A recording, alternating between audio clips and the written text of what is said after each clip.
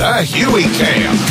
Featuring the best of Lamont and Tonelli on 1077 The Bone.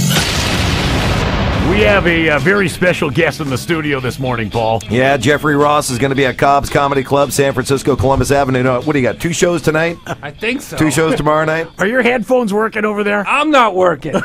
Well, we have the worst headphone situation in, in all of radio in this studio. I got lions and tigers and bears coming at me from every direction. Sully, what'd you put in his drink?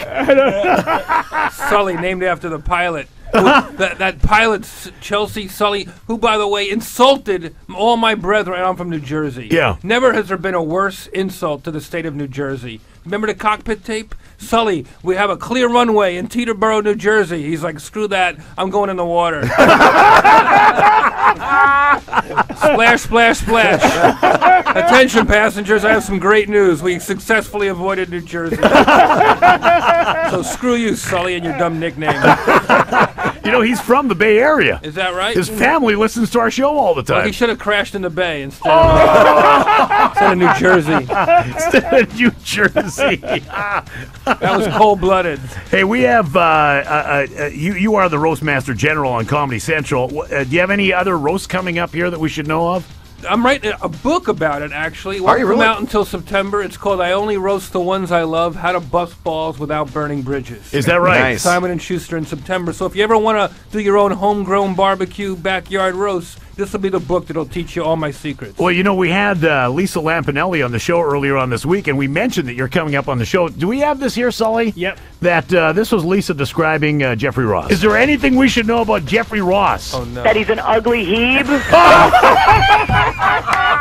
Listen Jeff Ross, man. He he masturbates so much that the pages of his Facebook are stuck together. Oh. but That's I love why- Jeff Ross, man. Jeff Jeff on Dancing with the Stars. Are you kidding me? yeah. he is to dancing what I am to women's gymnastics. All true, by the way. Oh. Classic. By the way. You know, she's the roast master. People compare her to Milton Berle, except she has a bigger penis than Milton. Yeah,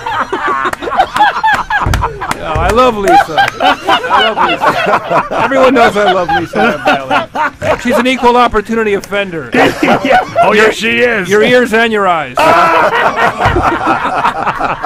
Hey, how, how did you end up on Dancing with the Stars? Yeah, what's the story behind What that? the hell were you Oh, thinking? Stephen Hawking canceled. Ah! yeah. They saw me doing the same moves on To Catch a Predator.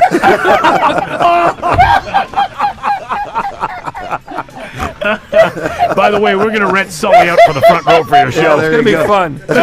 I got a lower score on Dancing with the Stars. Remember season one when when uh, Christopher Reeve did a wheelie, fell out of his chair? That was sad. he I got- scored higher. I got a lower score than when Heather Mills' leg flew off. Almost killed a camera guy. I made Dancing with the Stars history. I got a 12 out of 30. What did you last? Couple of weeks on that? Three? What I was got it? voted off during Jeopardy. the show before Dancing with the Stars. yeah. I barely made it past the first. I got a lower score than Cloris Leachman, 82 years old. she wasn't even dancing. Her partner just dragged her lifeless body around the dance floor. That was like Weekend at Bernie's the musical. but I'm not going to stop dancing. My, dan- my dancing days are not over. You know, we we were talking about Dancing with the Stars a couple of weeks ago. We had a picture on our website. Shawn Johnson, the Olympi- Olympic gymnast who's on this season, Yeah. her partner was sporting wood after saw one of their dances. Yeah. I saw that. Yeah. Very rare when a gay guy sports wood while dancing with a woman. it does happen. Yeah, it does happen. There you go.